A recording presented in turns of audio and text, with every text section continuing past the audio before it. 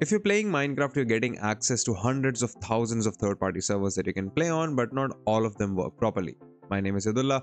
You're watching Candid Technology, and in this video, we're talking about how you can fix uh, connection issues to Hypixel servers on Minecraft. So the first thing that we're going to do is pressing Windows key plus X to open up the quick access menu and heading over to the task manager. Once task manager opens up, we'll quickly search for Minecraft just to check if there are any processes running.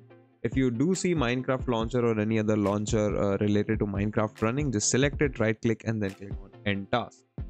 Alright, now once that is taken care of, fire up your Windows Explorer, head over to C drive then we are going to windows you'll find the system32 folder in here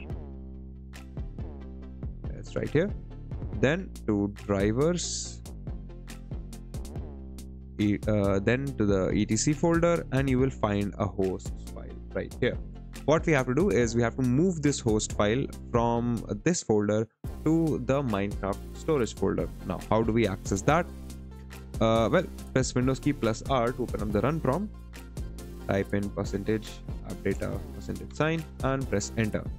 Now in this new window that opens up, double click the Minecraft folder or if you're having issues with T-Launcher, double click the T-Launcher folder.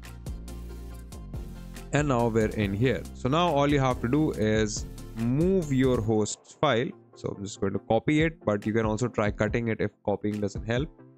And pasting it here now as you can see i have pasted the host file in my minecraft folder and now when you launch up minecraft it should be able to connect to hypixel servers just fine.